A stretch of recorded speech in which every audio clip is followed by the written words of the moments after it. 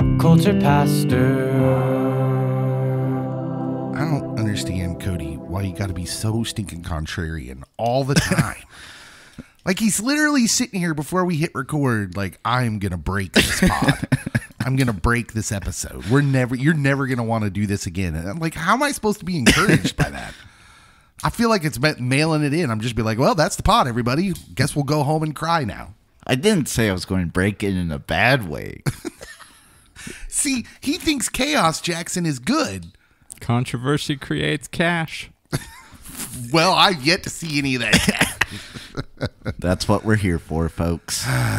this is Pop Culture Pastor, the podcast. My name is Dave. Contrarian Cody is here. Soon to be capitalist Cody. oh, but great. Yes. Well, we got that to look forward to, Jackson. Absolutely. Capitalist Cody is coming to save the day. And by save the day, I mean crush my dreams. You're welcome. And of course, Geek uh, Jackson Chauncey is here. I haven't figured out my nickname yet. Put in the comments, everybody. JC Chazé. The second most talented member of NSYNC. I thought you were going to say the second most talented JC. Yeah. That tracks too. It fits. Uh, all right, so we are here to, uh, you know, have a podcast that Cody is going to bring to a screeching halt at some point. You don't know when and you don't know how. That's, whew, I'm just getting all the warm and fuzzies. Uh, let's start with news. We're going to talk about DC Comics movies I've heard of them. exclusively in the news segment here. Oh, nice. James Gunn did an interview. My friend Jimmy. Your your good good friend Jimmy. He was talking about creature commandos. Are you familiar with what creature commandos are? Not super. Scotty definitely was because Scotty's like, oh my goodness, I can't believe this is what's first. I'm so excited. Here's what Entertainment Weekly says about Creature Commandos. Is a spiky story about monstrous characters wrestling with their dark pasts. The show features an assortment of characters, both familiar and strange Frankenstein, the Bride of Frankenstein, Dr. Phosphorus, the fish like Nina Mazursky. I like how she just has a regular name. uh, Weasel and G.I. Robot. Bill Johnson. And they're sent on dangerous missions by government official Amanda Waller. Because that's all Amanda does. She's like, oh, you bunch of ragamuffins, you go save the world over here, while this bunch of ragamuffins saves the world over there. So she's like a kind of a weird alternate Nick Fury. Yes. Yeah. Because she her her motives are sometimes in question. Does she always use the explosives in the neck or the head or wherever they were in? Oh, the Suicide Squad Yeah. thing? I don't know. Was that a comic book thing?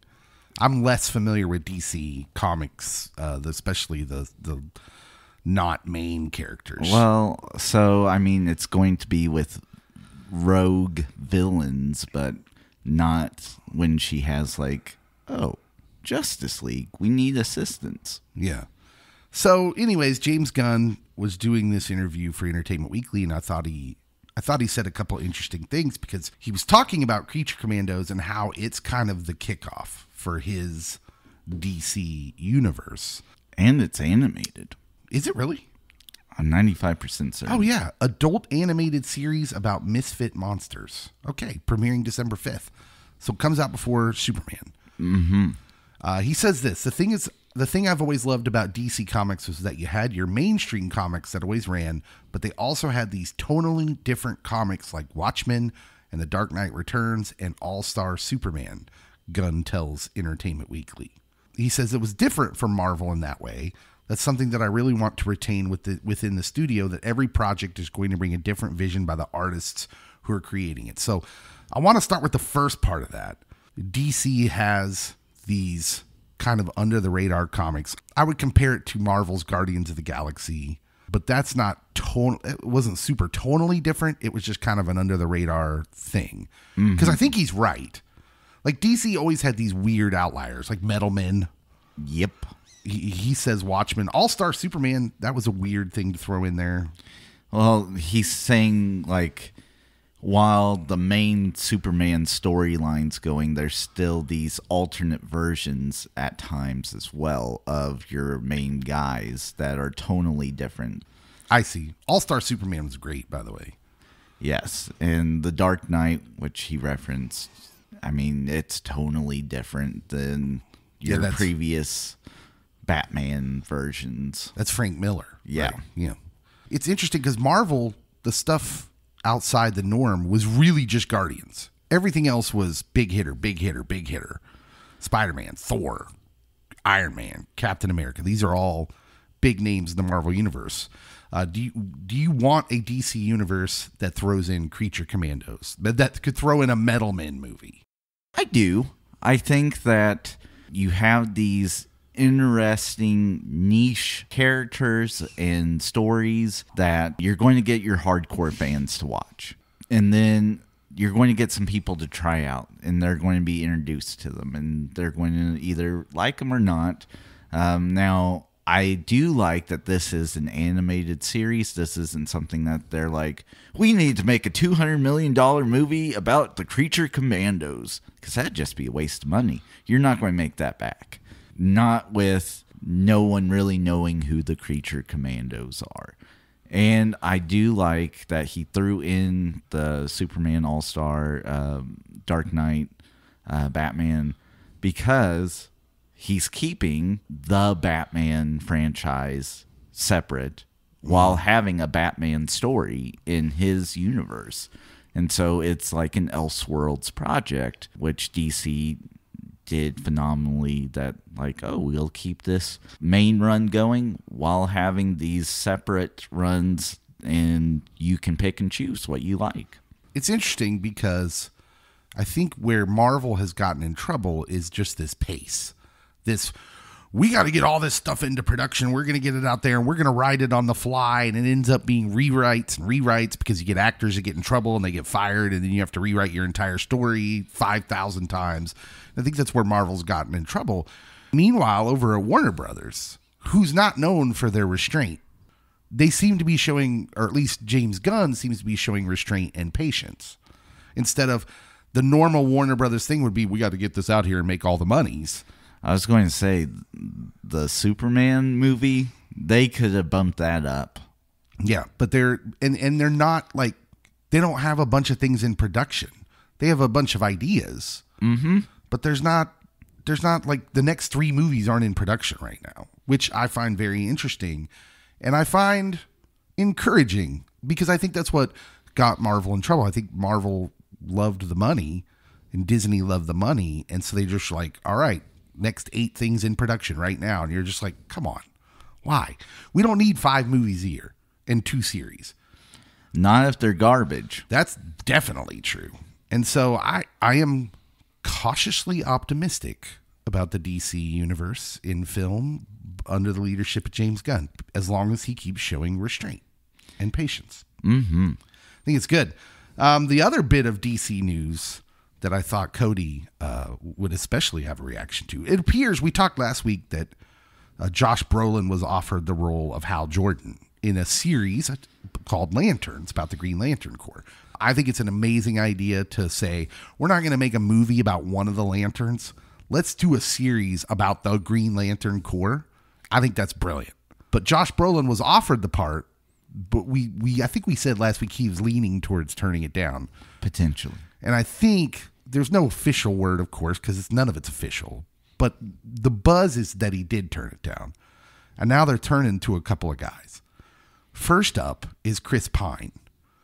Now, again, we get into this thing where like, do we not have enough actors? Why do we keep why do we keep going back to these same actors who have appeared, albeit in a different version, but in your universe before? Chris Pine was in both Wonder Woman movies. Mm-hmm.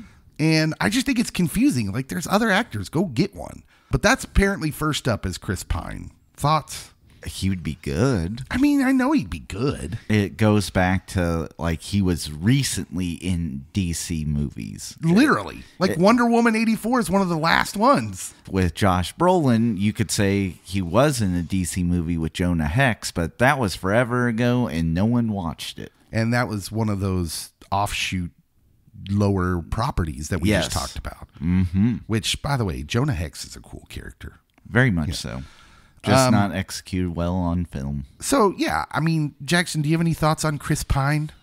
Other uh, than he's not Kurt Russell? Uh, well, that's always the first thought.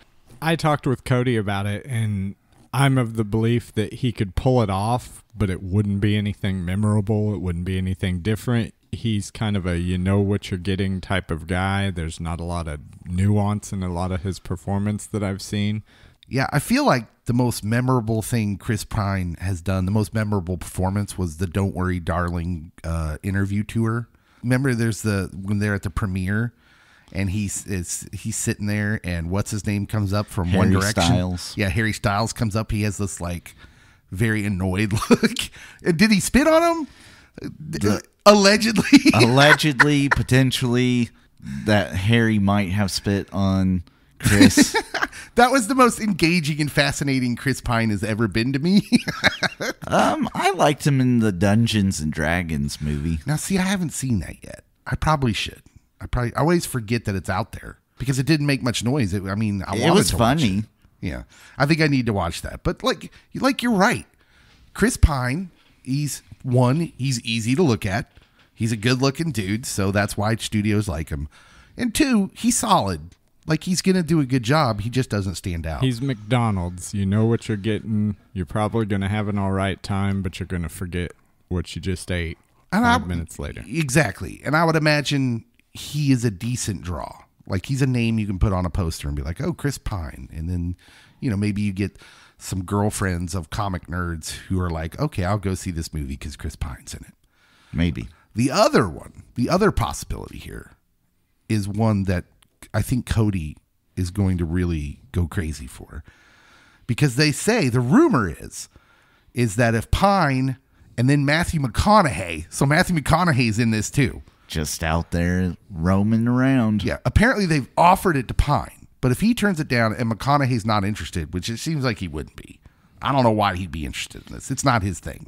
If he's not interested, then the role, this is all allegedly because it's rumor, would be offered to Timothy Olyphant. Be still my heart. Cody, what would Cody do to have Timothy Olyphant in the DC universe as Hal Jordan? Multiple things. Laws would be broken. Honestly, it would be a home run. I feel just because Timothy Olyphant does have some range. Um, does he? Scream 2 is vastly different than who he is in Justified or The Mandalorian. Now, people love it when he talks with his drawl, but so yeah. So early on in his career, he played a lot of roles like Scream Two. But then recently, you you said his drawl. Yeah, he's got like this kind of southern slash. I've got the western bow-legged cowboy thing going on. even though he's from California, Is he really? I'm pretty sure I'd have he's never from guessed that. Modesto. well, we just we just uh, confirmed how amazing of an actor he is. So he was in a superhero esque property before. I am four I've never heard of four. that. or number four. Yeah, Number four. Yeah. I've never heard of it. Um, it was good. It there were supposed to be sequels, but no one watched it, and so no sequels. But number four was he he was like a supporting character, training up this guy that had some supernatural abilities. Light up hands. Yep. Yeah. Yeah, he's been in. So yeah, early in his career, he does Scream Two. He does Live Free or Die Hard. Yep. where he's kind of that same guy. He's kind of like he plays a psycho character essentially who's got like cleverness. He's smart, but he's a little unhinged. Very underrated Die Hard. I would agree. And then Deadwood and Justified kind of usher in his cowboy phase. Yeah, and then he was in that zombie movie. The Crazies. Yep. Oh, I forgot about that one. That one was pretty interesting. And the zombie Netflix show with Drew Oh. Barrymore. Yeah, Santa, Santa Clarita, Clarita Diet. Diet. yeah. that was funny. But correct me if I'm wrong, the Lantern Corps is basically space cops. So while he may still be in his lawman comfort zone, they could obviously, if it's James Gunn, give him the opportunity to. Well, this is interesting. This brings up an interesting question because let's pose it to the DC superfan. Are you okay with Hal Jordan having a little bit of the Timothy Olyphant's uh, sentimentalities? Just bending his character a little bit to reflect more of a Timothy Olyphant guy character. Yes. Yes. Okay. So- Ja- James Gunn, you heard it. You're you're good to go. I'm not like completely endeared with Hal. Hal is like the most famous of the Green Lanterns, but like, eh, he's okay as a character. He's not like beloved to me. There are people that are like, you don't mess with Hal. Yeah. You want to know the key to the lanterns? I'm not even a DC super fan, and I know this. This is what the original movie got wrong because the original movie had the perfect actor for this part. The one you need to nail, the character you need to nail is not a Green Lantern. The character you need to nail is Sinestro. Mm-hmm. And they had Mark Strong, who was perfect, and they did not nail the character. He's That's- still around though. Yeah. Bring him back. Well, J- James Gunn has shown a propensity for like he doesn't really care I'm good with him not caring. about the weirdness and continu- continuity as far as actors. So bring back Mark Strong as Sinestro. I thought he was great, but the, the character was written poorly, and I think he's the key to that whole story. All right, we're gonna play the movie game coming up next. It's been a few weeks, but Jackson's here, Cody's here. A movie game coming up next.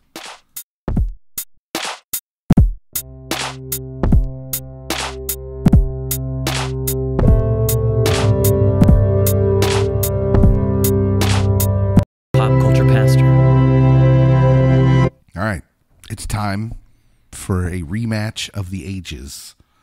Jackson Chauncey versus co-host Cody. We can do that as a, just your regular nickname. Yeah. the um, man I- of I'm a more thousand chill. nicknames. He might be Hamlin. temperamental Cody by the end of this, but we'll see. Cody doesn't take losing well. I don't. Cranky Cody. Cranky Cody, that's a good one. Cantankerous Cody. Yeah, cantankerous Cody. We got to keep him alliterative. I think that's the key. Anyways, it's time for the movie game. The movie game exploding in popularity among the listeners. Sweeping the nation. So, listeners, pay attention because I know you're playing from home or in your cars, or wherever you're at. This might be one of the more challenging uh, editions of the movie game we've ever done. Since the first one.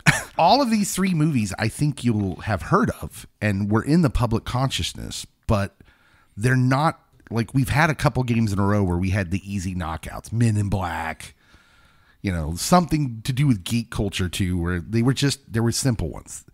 These are going to be a little tougher. This might be difficult, so we'll see what happens. But Jackson, you're the guest, so I will let you select first. I'm holding uh, in front of me as rated on Rotten Tomatoes critic score a six percent movie. oh. yeah, it's really bad.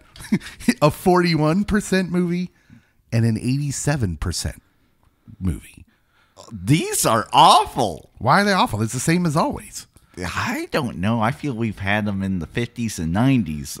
Yeah, I will say the 41% is a lower mediocre score. It's probably the lowest mediocre score we've had. Let's go six. 6%. He's going for the really bad movie. He's trying to gain all the bonus fan points. All right. So you know it has a 6% critical tomato score. The movie came out in 1994. Do you have a guess for the level one flight for Jackson Chauncey? No. No, he has no. Cody has written down Ed Wood. I'm pretty sure Ed Wood got a better than 6% critical score, but good guess. yeah. Um, okay, level two, you'll get the second billed actor, the legendary Andy Dick. And- I may have overblown the legendary, but at least you know who that is. Oh, Yes. everyone knows Andy Dick. Six percent critical score, a really bad movie in 1994 with second billed actor, second billed actor Andy yeah, Dick. second billed. uh, let's go again. He has no guess. We move to level three. The audience score 44%. It goes up quite a bit. Cult favorite. Uh, Colt, uh, we're okay with it. I would more, that's more accurate. So how many more guesses do we have? That was just level three. If You you'd got like two me, more. You've got two more. So level four, you'll get the top billed actor, and Let's it should go again. It should help you out a little bit here. Uh, the top billed actor is Pauly Shore. Oh. Pauly Shore in a six percent critical Rotten Tomato score in 1994 with the second billed actor Andy Dick. So you know it's a Pauly Shore movie. Yeah. That limits it to like three guesses for me, and one of them I've already eliminated. The movie Cody always makes me watch whenever I come to his house, son in law. That's a fantastic movie. If you're gonna have to watch a Polly Shore movie, I would suggest it It's required. Yeah, but that is not the movie we're looking for. If that had a six percent, I would I would question Rotten Tomatoes. I'd be like, no, no, no. Look here, Son-in-Law has heart.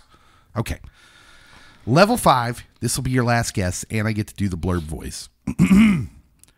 Two dim ne'er do wells join the U.S. Army Reserves in the hopes of earning easy money, but they get more than they bargain for when they find themselves in combat. I'm going to go down swinging. Is it in the army now? It is in the Army now. Solid guess on a pretty difficult, uh, pretty difficult one there. So, Second Oh. billed Andy Dick. the legend of the second billing. I was going to say that's not chairman of the board. No, no. And what was the one he That's did in Carrot court? Top. Was it Jury Duty? Yeah, Oh, that that, was- movie Yeah. was so bad. Pauly Shore and Carrot Top are interchangeable for me, even though they're vastly different. Jury Duty was the end of Pauly Shore. Um, okay, Cody, you're left with a critical Rotten Tomato score movie of 41% or one of 87%. Which would you like to solve? we'll go 87. All right, he's going for the good one. I'll put this one over here in case we need a tiebreaker. 87% Rotten Tomato score. Movie came out in 2005, so a good movie in 2005. The Village. It is not The Village. I think that's a solid guess. He said good movie in 2005.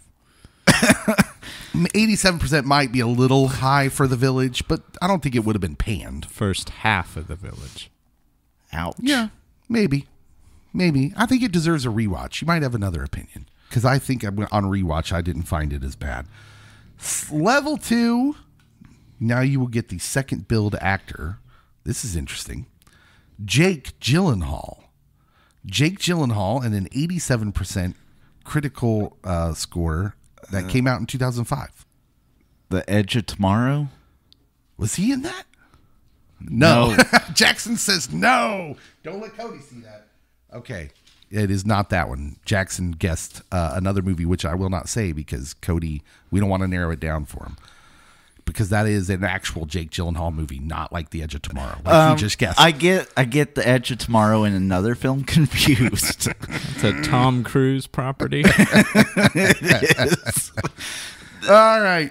Level three, the audience score goes down, down to 82% from 87% critical score.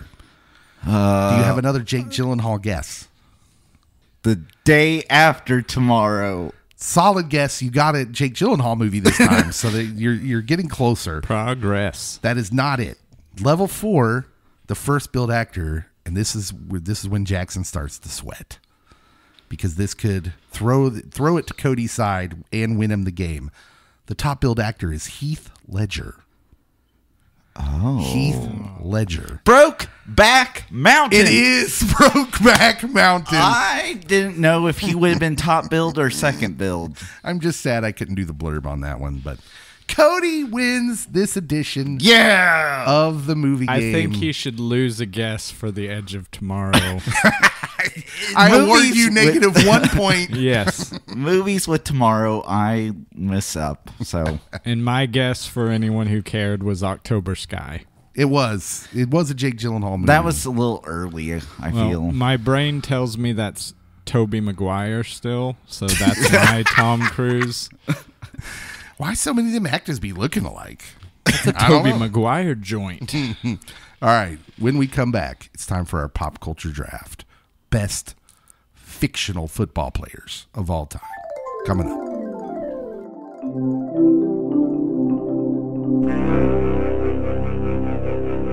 Bum bum bum bum. Bum bum bum bum bum. Dun dun dun dun. Bum bum bum bum bum bum bum. Beep beep beep beep. Who needs real production? Are you ready for some football? Yeah, I'm ready for some football. Boom. Everybody's having their fantasy football drafts, and I thought, you know what? We should do a fantasy football draft. We did. No, no, no, not one like all the other people do. We should do a pop culture draft where we draft a three person team of fantasy football players, of fictional football players, and try to get the best team with two bonus categories. I'm ready for this. Are you ready? I am. Okay. Jackson, are you ready? I'm present for this. Ready might be pushing it.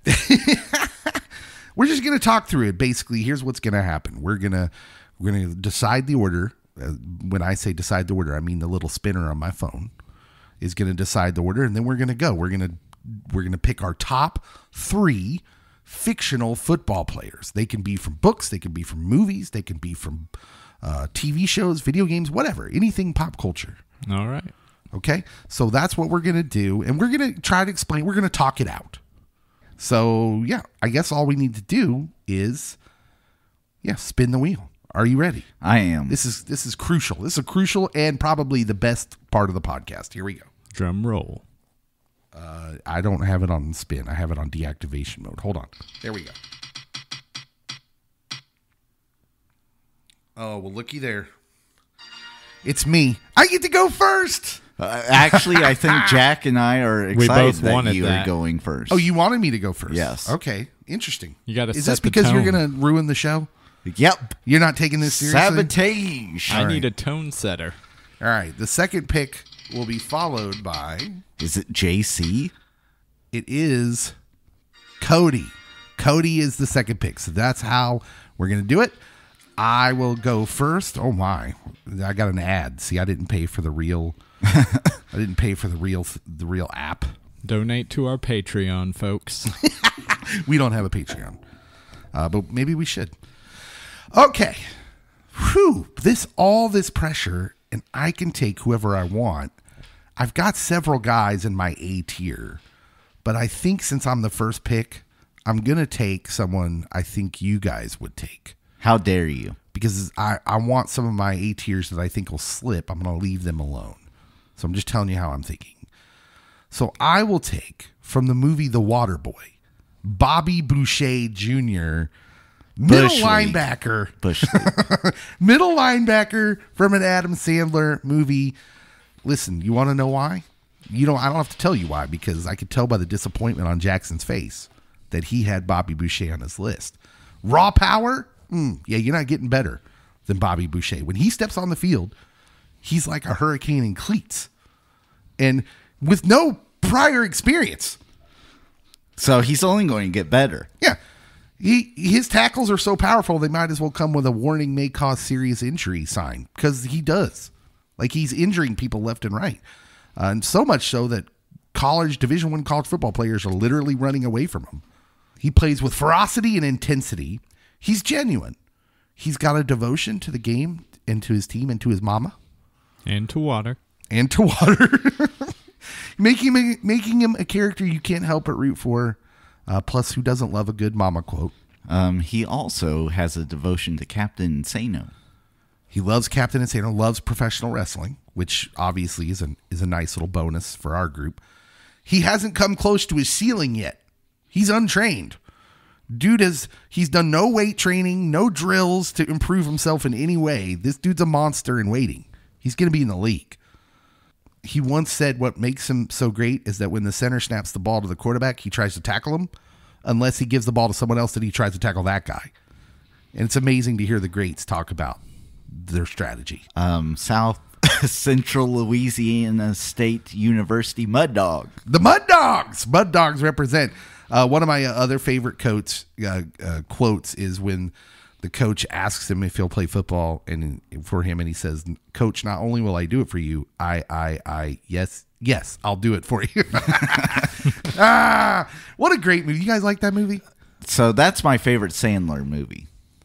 The The Water Boy. Uh, amongst the comedies, it is my favorite Sandler movie. It's up there for me. I know people are like, "Oh, Billy Madison" or Happy Gilmore. I love The Waterboy.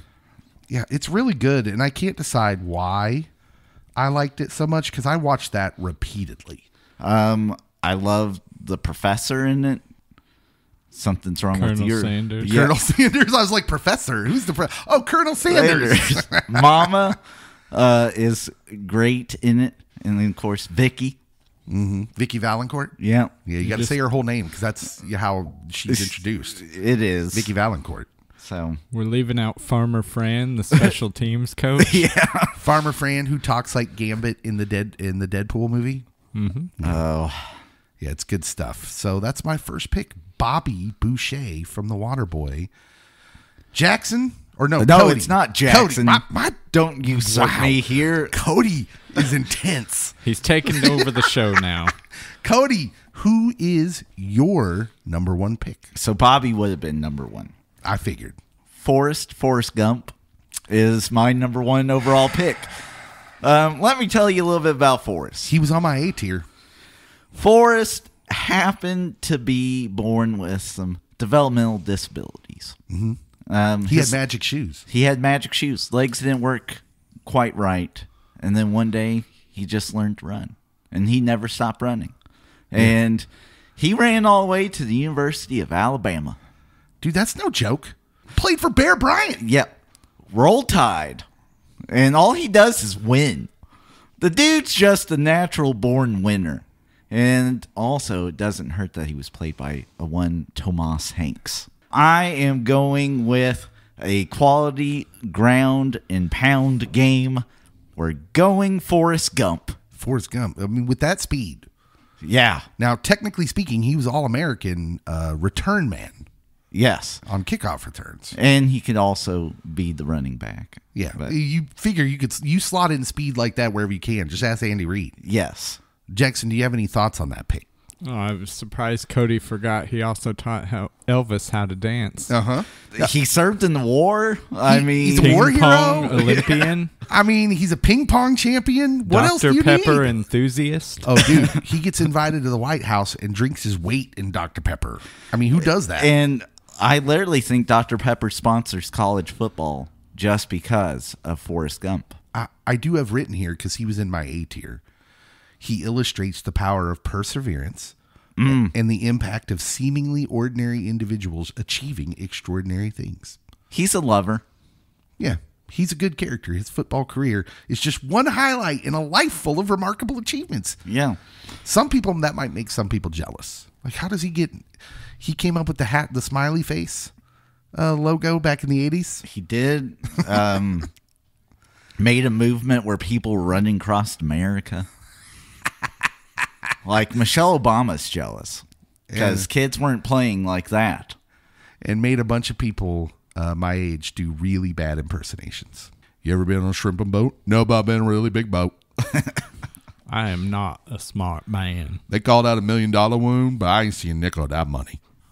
Yeah, I'm gonna stop now. I'm gonna stop. It's bad. Jackson, who is your first pick in the fictional football pop culture draft? I'm really surprised Forrest went off there. I thought I had a hidden gem that I was going to bring to the table.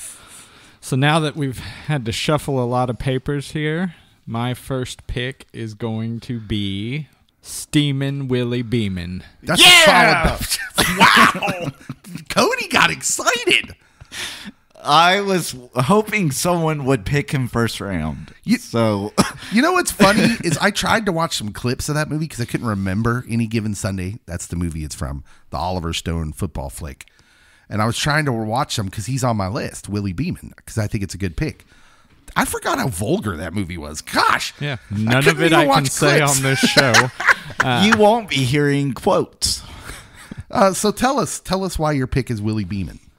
Well, Willie was a third string quarterback, rushed into duty after Cap Rooney and Tyler Cherubini were both taken down Third stringer.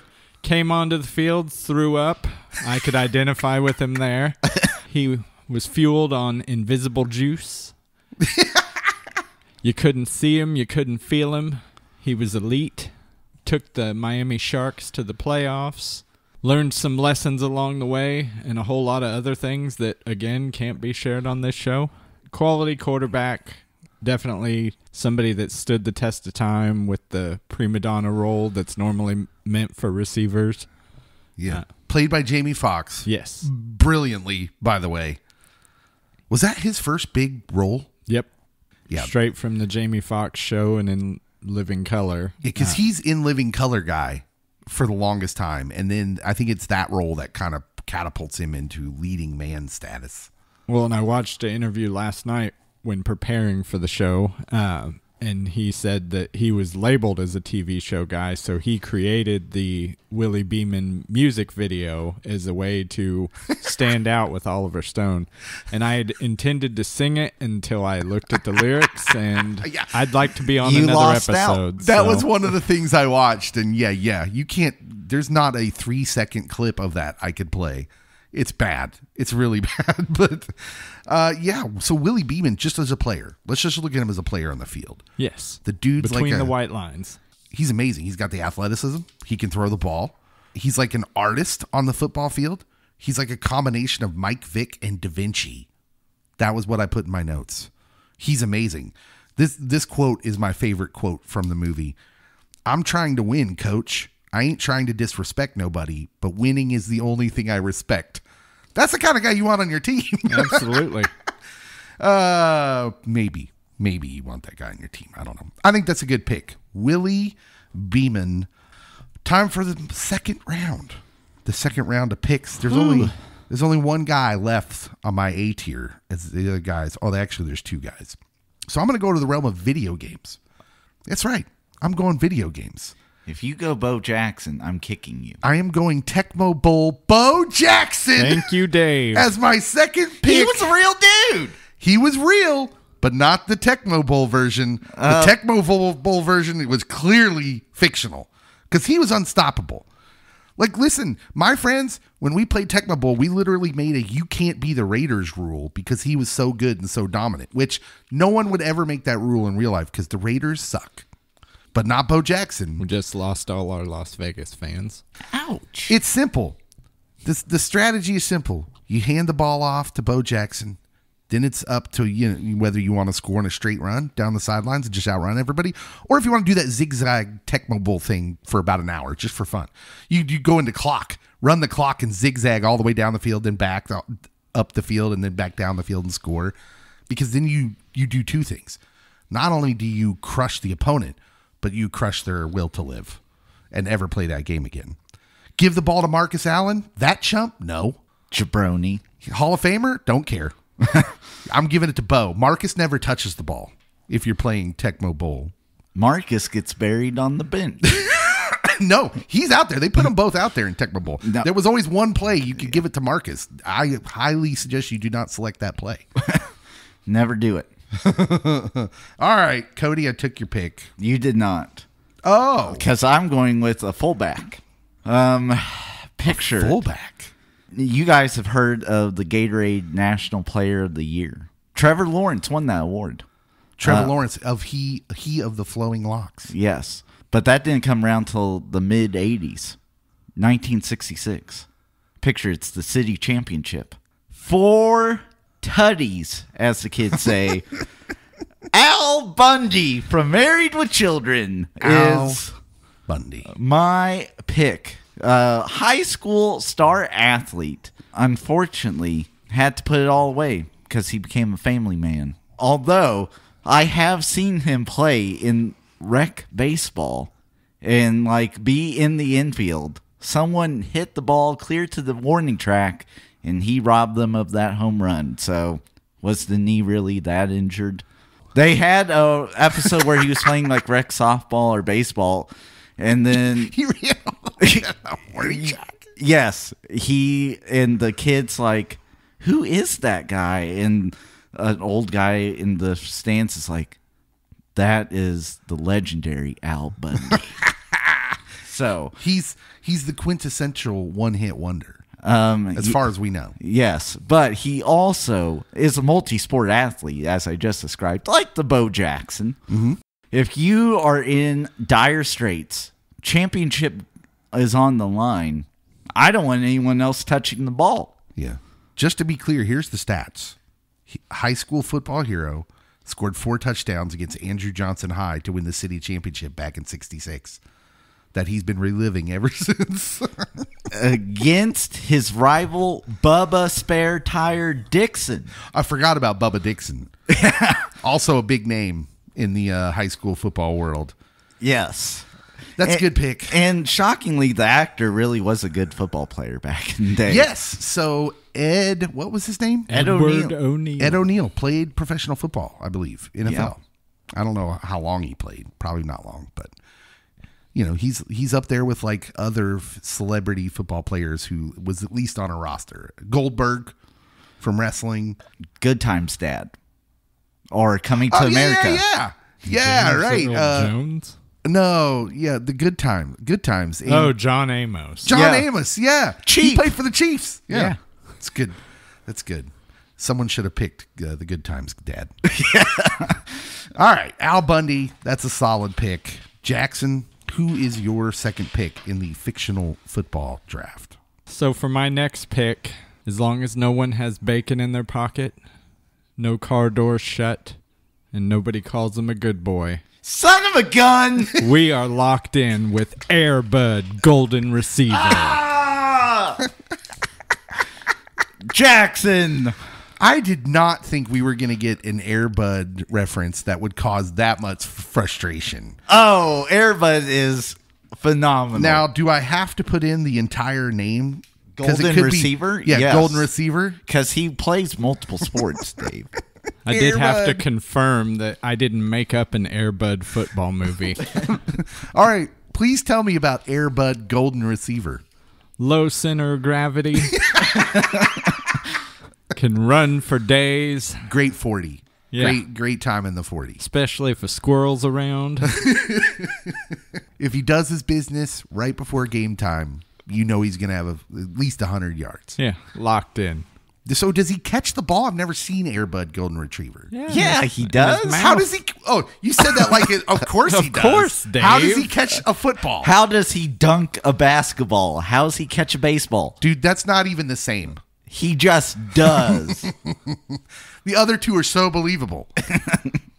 Those are biographies, Dave. I don't know what you're talking They're about. biopics, literally based on true stories. You did say we could use real life scenarios, Yeah, I did. and I took you at your word. Airbud Golden Receiver. Anything else? Anything you'd like to add to that, Cody? Phenomenal pick. That was the pick I was going to sabotage this whole show with. so I'm glad that you picked that because I don't think Dave's going to pick my third pick, and I will sabotage the show with this one. Oh, really, fool? You don't think so? What if I did? I might. I might rage quit. Just walk out. All right. There okay, so I kind of see Cody's strategy. I kind of see Cody's strategy and if I I'm going to write down something right now because I think I know who he's going to pick. Now, I'm going to stay away from your pick. I'm just writing it down because I think I know who you're going to pick. I'm going to leave it there face down. My pick is from the television show Friday Night Lights. Oh, thank God. I knew told- somebody I told was you I going wasn't gonna take your pick. I am selecting Tim Riggins. Tim Riggins from the TV show Friday Night Lights. One of my all-time favorite episodes is when one of the kids, like, if look, if you've never been around Texas high school football, it's like a religion down there. They're serious about it. So this was basically a documentary, as far as I'm concerned. There's an episode where the kid, a kid, is following him around the whole episode, calling him by his full names. Hey, Tim Riggins, Tim Riggins, and I just thought that was hilarious, so I just throw that in there. But Tim Riggins is a fullback, and I believe a linebacker. I think he played both ways, uh, but I know he played fullback, and he's the epitome of grit and resilience. Had a tough upbringing. Parents aren't around. He's raised by his older brother. He plays football with the same raw intensity that defines his character. And he's going to give his teammates everything because that's really all he has is high school football. And because it's Texas forever. It's Texas forever. That was the big thing that he always said. Uh, just don't expect much from him in the classroom. When Riggins is on the field, you can sure he's leaving everything out there.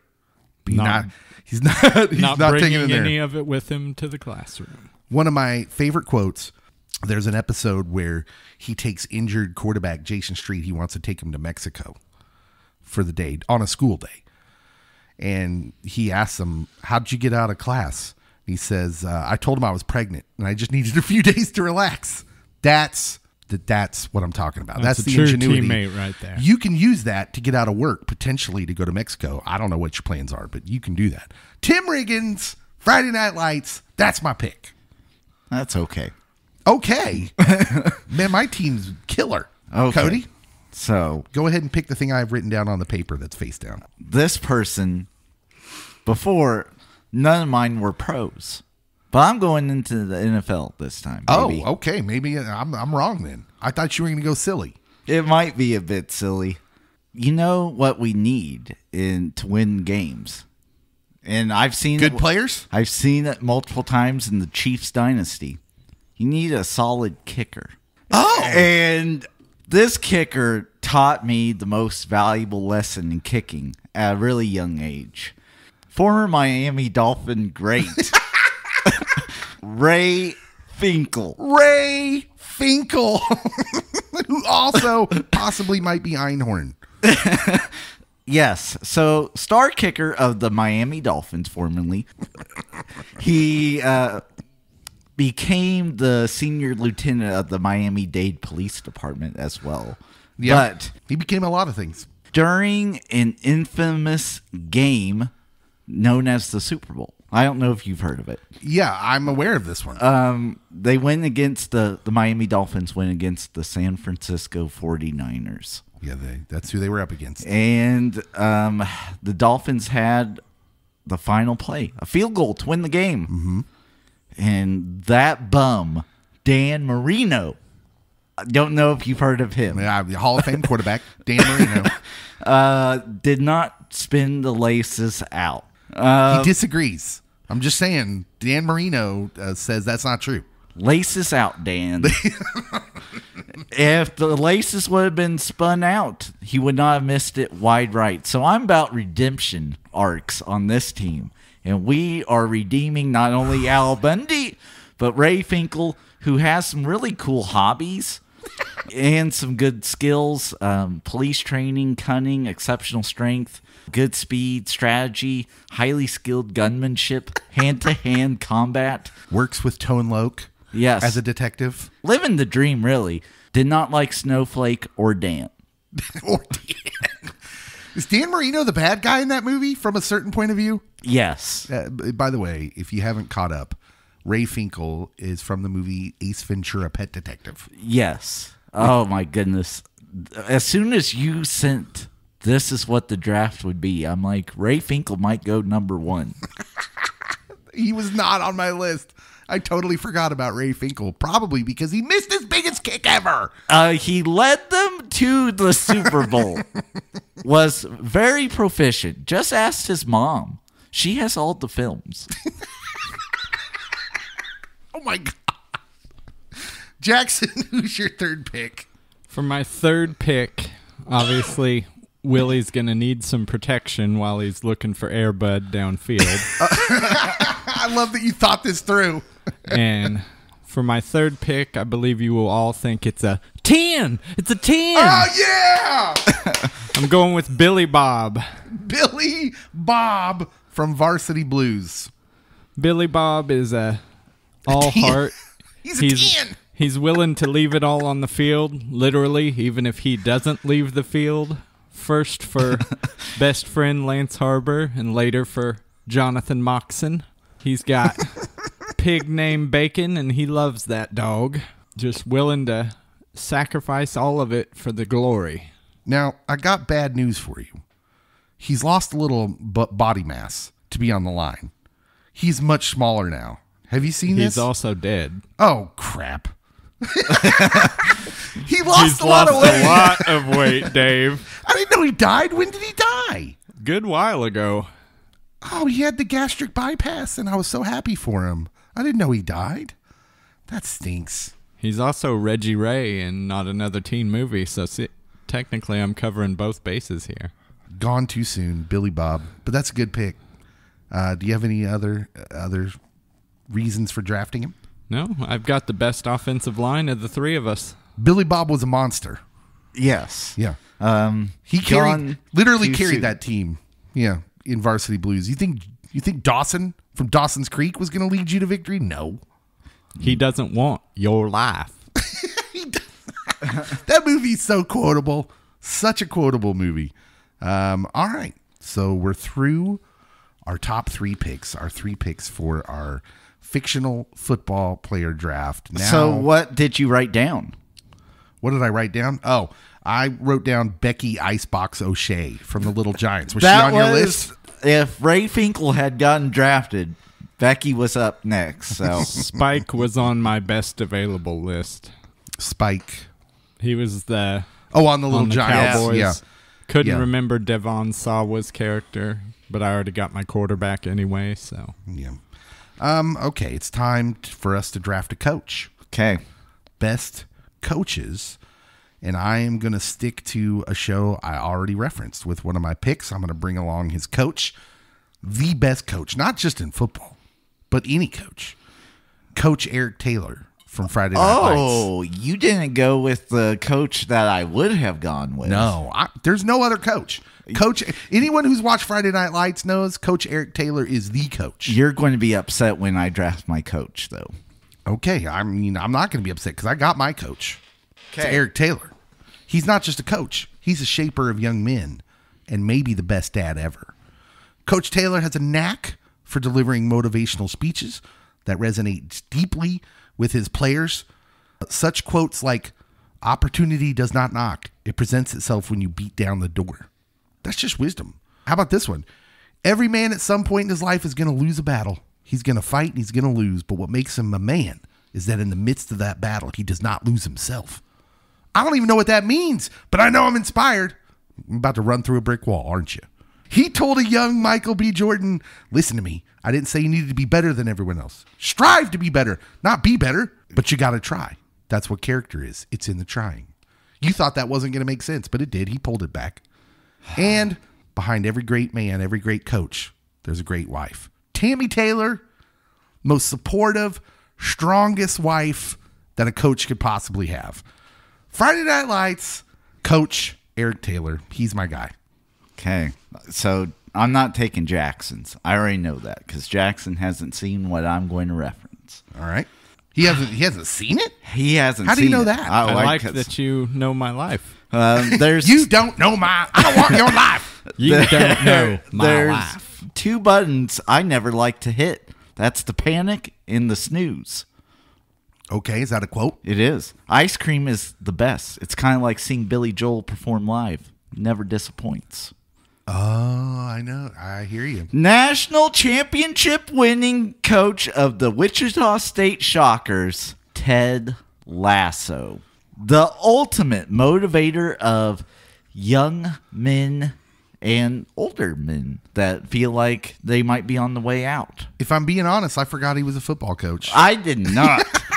I figured you guys would make the football soccer comparison at some point, so go for it. well, no, he was literally an American football coach. Yeah, He took he- Wichita State to- National championship. Yeah. And An un, an unexisting team. oh yeah. Wichita State hasn't had a football team since 1982 or something like that. And I've seen an episode and a half of that, by the way. Oh, what is wrong with Thanks you? Thanks for the credit. What are you doing with your life? There's so much media out there, Dave. Uh, not like Ted Lasso. I got kids. Um, I promise you, there is something worse out there than being sad, and that's being alone and being sad. Mm-hmm.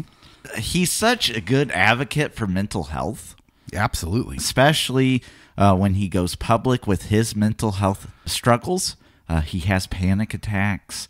He also struggles with the the death of his dad, his wife divorcing him, but then he he chooses family.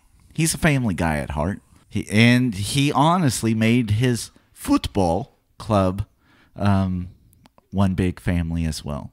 Uh, taught me some valuable li- or lessons like be a goldfish, all the things from the Diamond Dogs Club.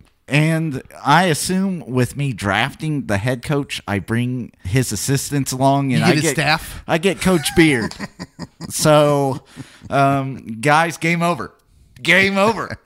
Coach Beard, uh, Roy, Roy Kent, and Nick. Nathan Shelley. I think that's fair. I think you get the staff. I'm a little mad that I forgot he was a football coach and didn't consider him because he might have been my pick. But I'm not unhappy with my Eric Taylor pick.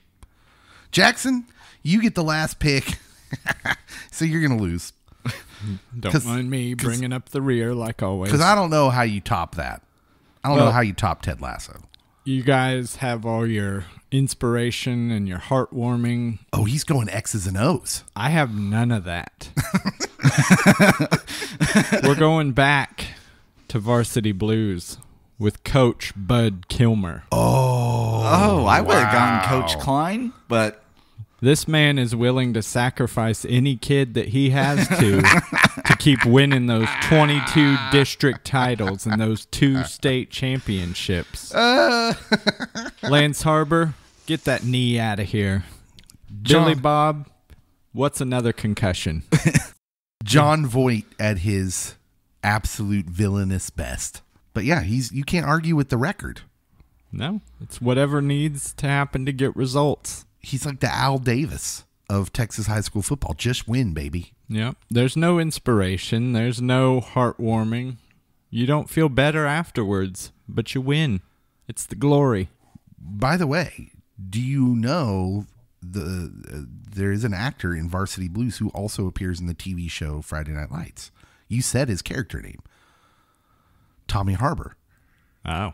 uh, played by Jesse Plemons, who plays Landry in Friday Night Lights. Oh, yeah, that's right. Yeah, he's Matt uh, Matt Saracen's friend, uh, played by our good friend um, Zach. Zach. What's his name?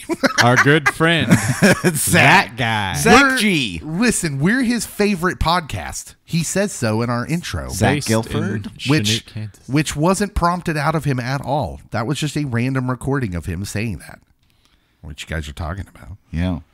Um, good pick, good pick. Now the only thing left to pick is the best ending to a football movie. Best ending to a football movie. Was that was that what it is, or I didn't just say sports movie? I, th- I think I you said football. So best ending to a football movie, and you can you can uh, define that any way you want. Okay. I'm going to sabotage this one as well.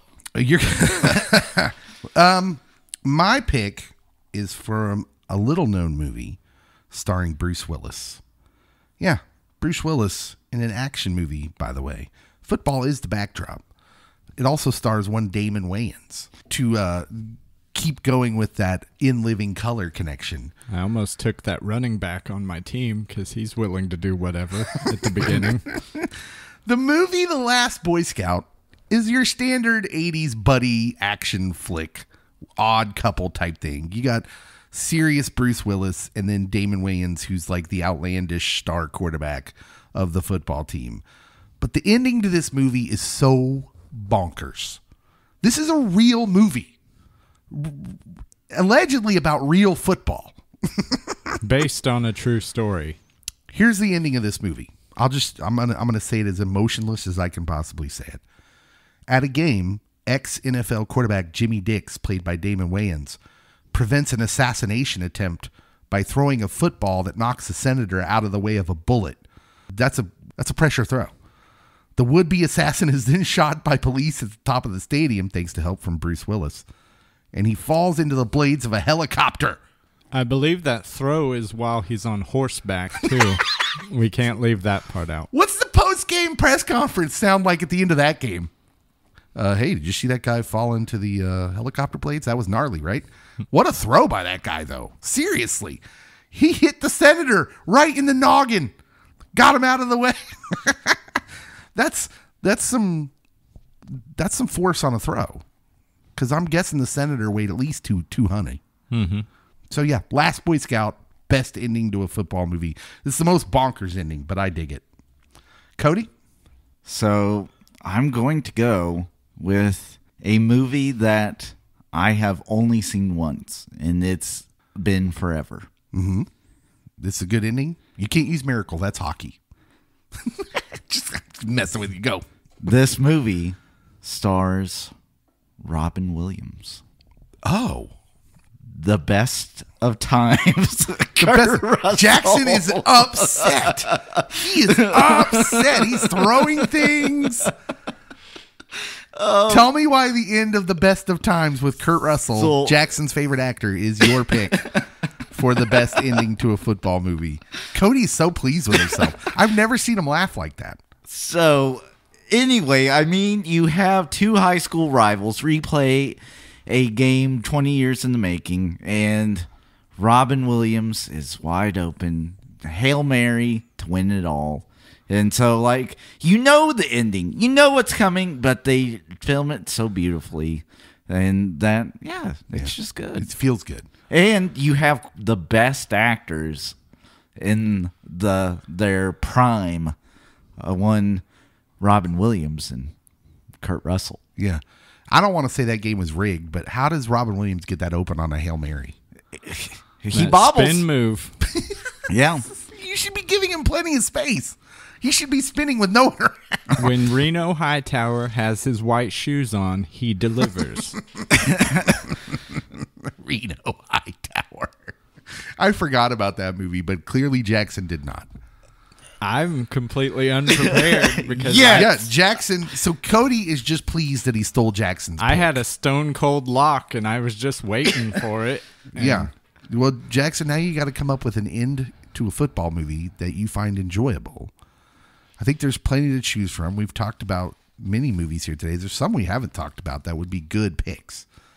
There's one in particular I'm thinking of Yeah. that I think is a good pick that we have not referenced today. That is a really good feel good ending. Well, then it wouldn't be Dark Knight Rises. I had considered that one. Poor uh, Hines Ward. We do not speak of Hines Ward. he lost all his teammates. Nothing? Okay. Wait.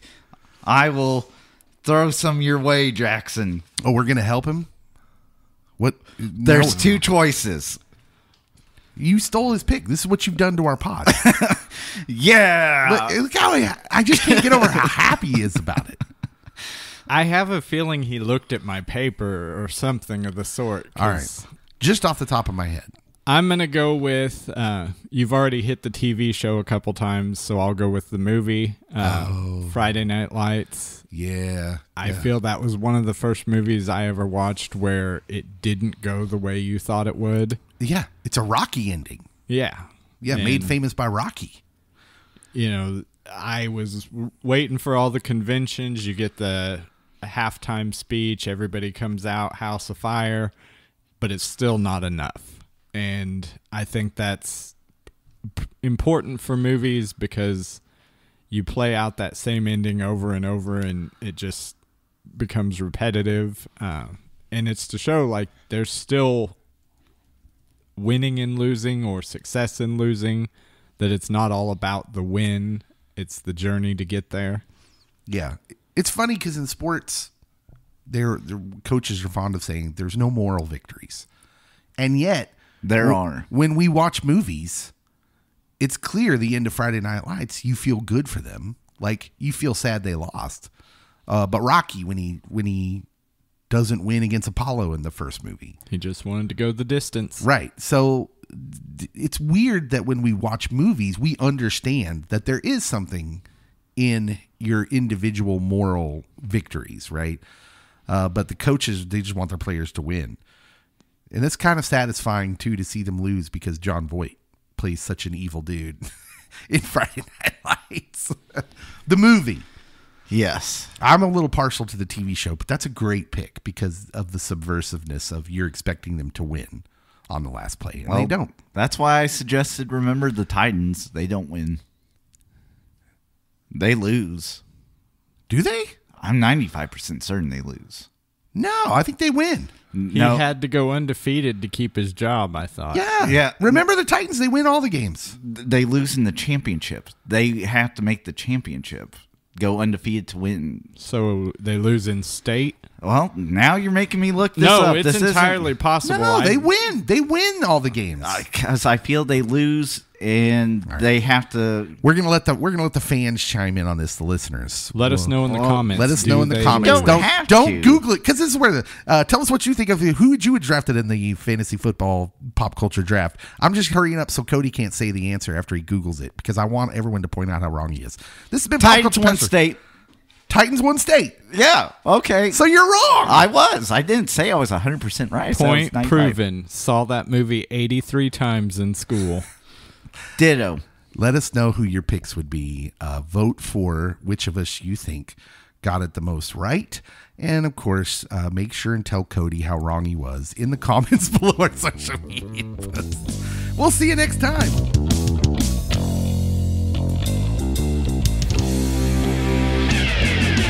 pop culture pastor.